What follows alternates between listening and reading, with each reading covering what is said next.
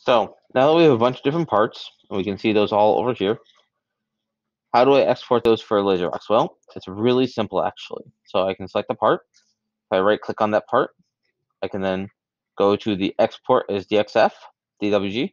I want to pick DXF. I want to make sure the name is nice. I'm going to export it, and then I'm going to open LaserBox software. And I do that by typing the Windows key and typing the name of the program. I can now import the DXF directly into the file, and I can take several of them. I'm also going to take and export one of the arcs, export DXF, and let's do the T also.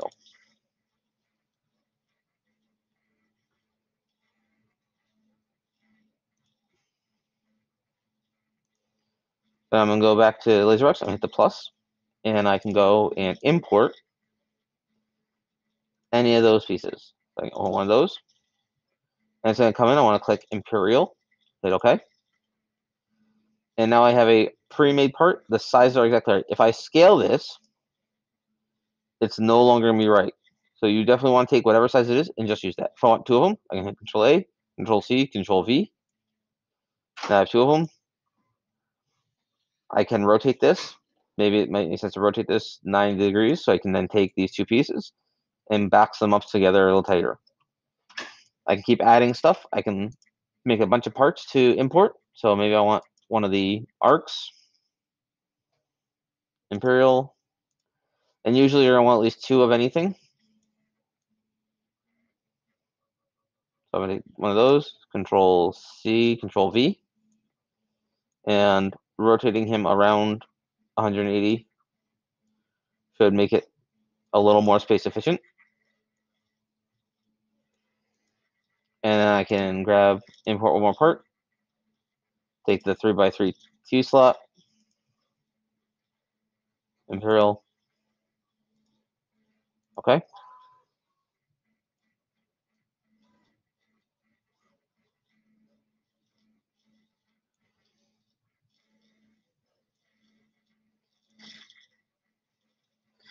Now this should be exported. So file export and say this is an LQ file.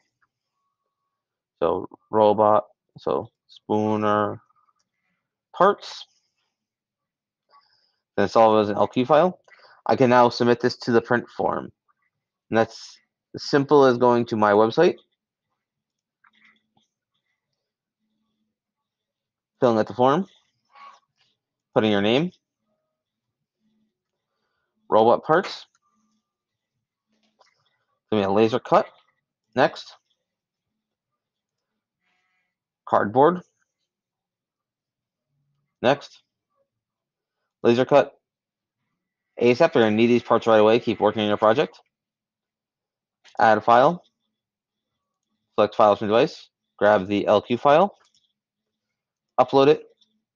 And then submit. I'm not going to bother submit because I don't really want it, but you'd hit submit. Otherwise, I won't have the file.